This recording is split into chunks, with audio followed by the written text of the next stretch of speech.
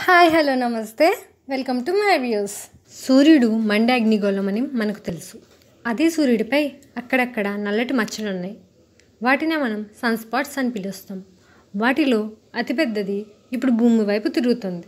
అది మనకు bad news. ఎందుకంటే AR two double seven zero అనే సన్ స్పాట్ క్రమంగా సైజు పెరుగుతుంది. దీని నుంచి అత్యంత భయంకరమైన రాకాశ అగ్నియాలలో ఎగిసిపడుతున్నాయి.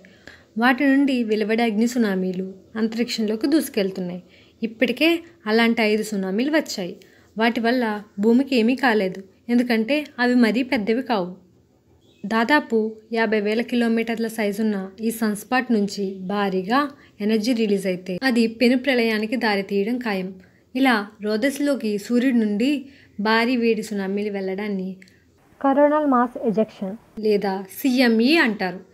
ఇవి భూమిపై ఉండే రేడియో తరంగాల్ని దెబ్బతీస్తాయి. కమ్యూనికేషన్ వ్యవస్థను నాశనం చేయగలవు. భూమి చుట్టూ తిరిగే శాటిలైట్ల జీపీఎస్ దెబ్బతినగలదు అంతేకాదు పవర్ గ్రిడ్లు కూడా పనిచేయకుండా పోగలవు. యూరప్ దేశాల్లో కనిపించే అరోరా గాలులకు కారణం ఈ సీఎంఈలే. ఇవి భూమి అయస్కాంత క్షేత్రాన్ని దెబ్బతీయగలవని అంటున్నారు. సన్స్పాట్ అనేది సూర్యుడి వల్ల నల్లగా కనిపించే ప్రదేశం. మిగతా ప్రదేశాల కంటే అది కొద్దిగా చల్లగానే ఉంటుంది. దాని నుంచి భారీగా వాయువులు అత్యంత శక్తివంతమైన అయస్కాంత తరంగాలు వస్తుంటాయి. సూర్యుడు అయస్కాంత క్షేత్రాల్లో మార్పులు వచ్చినప్పుడు భారీ పేలులు సంభవిస్తాయి.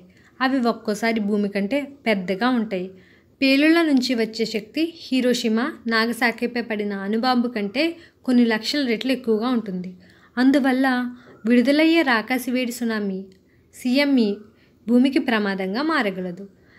నాసా తాజాగా తయారు చేసిన మోడల్ ప్రకారం గత పదేళ్ళలో ఏడు భారీ సీఎంఏలను గుర్తించింది.